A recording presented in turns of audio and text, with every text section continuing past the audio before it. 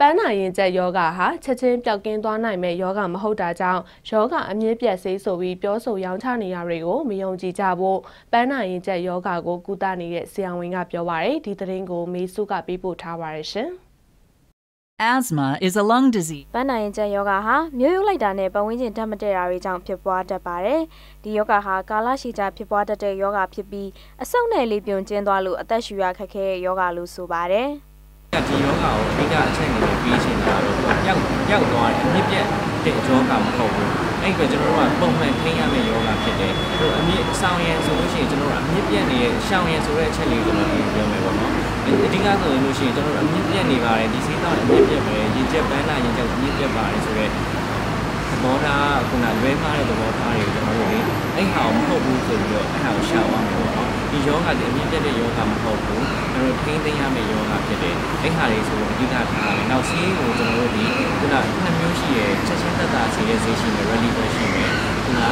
controller ဆိုတဲ့ဟာထိန်းတဲ့ဆေးရှိမယ်ဒီနှစ်ခုကိုအချိန်နဲ့အပြင်အချိန်အချိန်မှန်မှန်နဲ့ပုံမှန်သုံးဆွဲသိရမယ်ဆိုတဲ့အောင်လေသူကလက်ခံထားမယ်ဆိုရပြောရဲစိတ်ခဏခဏရှူသေးရှူတယ်ဆိုလို့ရှိရင်ဒါနောက်ဆုံးဆေးတွေဒီလိုမျိုးတွေပြောရဲအဲ့ခါတွေကိုအဲ့ခါမျိုးကိုကျွန်တော်တို့ဟိုဟိုတည်င်းအမှားကိုလည်းကျွန်တော်ကရှောင်ရတယ်ပေါ့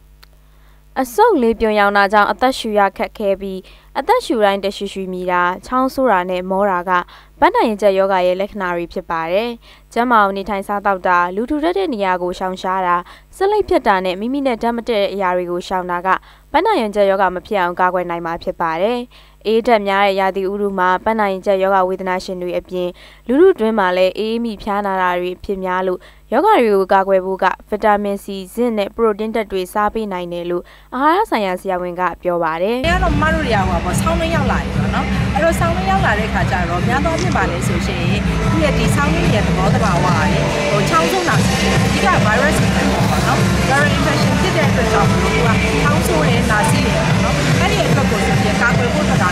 ဒီကိုခံစွာရလေကောင်းမှုတွေကြီးတယ်။မတို့ကအဓိကဘာကျွေးလဲဆိုလို့ရှိရင်ဒီလိုအချိန်တွေမှာဆိုလို့ရှိရင် protein ဓာတ်ပြည့်ရမယ်။နောက်တော့ vitamin C ဓာတ်ပြည့်ရမယ်။ပြီးတော့မှ zinc ဓာတ်ပြည့်ရမယ်ပေါ့နော်။အဲ့လိုဖြစ်တဲ့အတွက်ကြောင့်ခုနောက်ပိုင်းမှာဆိုရင်မတို့ကစပြုတ်ရေးလုပ်နိုင်တယ်နော်။ဥပမာဆိုလို့ရှိရင်တက်စပြုတ်လုပ်လိုက်တယ်အဲ့ဒီတော့မှတမယာဒီမြစ်စားခိုင်းတယ်နော်။အဲ့လိုမျိုးစပြုတ်လေးတွေပေါ့။အဲ့ဒါမျိုးတွေတောက်ပြီဆိုရင်တော်ရုံတိုင်ဝါကြတော့နာစီချောင်းမျိုးဖြစ်ဘူးနော်။နောက်တစ်ခါကျတော့ vitamin C နဲ့ zinc ဓာတ်ရဖို့ကတော့